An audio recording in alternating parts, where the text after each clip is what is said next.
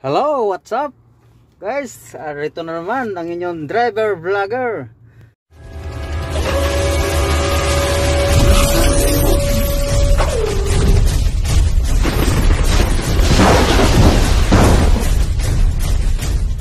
Ah, ngayon guys, ah, mga buddy, i-surprise natin yung ano, yung pahinanti ko ngayon. Driver siya, wala pang unit. Bali, pahinanti ko siya ngayon. Sabi niya, mula daw nang magtrabaho siya, hindi pa raw siya nagkakaroon ng ATM. Bali, mag, ah, isang buwan kalahati na siya rito ata sa dito sa kumpanya. Nung Sabado ko lang nakuha yung ATM niya pero hindi ko pa sinasabi. Sabi niya kasi mula raw na magtrabaho siya, hindi pa raw siya nagkakaroon ng ATM. What? Hindi pa raw siya nakakahawak ng ATM. Ngayon susurpresahin natin siya, hindi ko pa sinasabi nandito na yung ATM niya.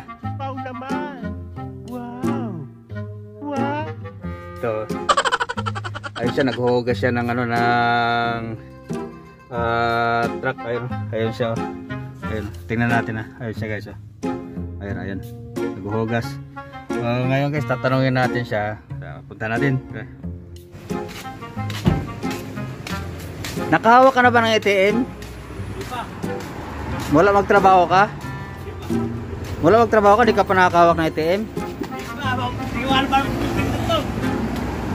So ayan guys, di pa raw siya nakakawak ng ATM.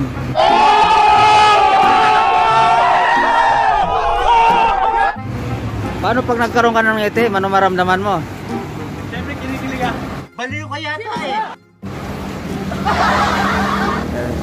Oh, ito na ATM mo. Oh. Ayan guys, natin. Pero, oh, ATM yan. Tira mo, ayan ATM niya guys, oh. Tira mo. Nung Sabado pa, ayan, oh. Ayan, diba? Oh my God!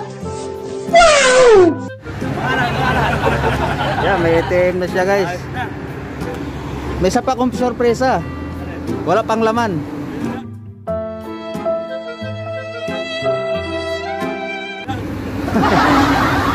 Next sahod pa raw yung laman.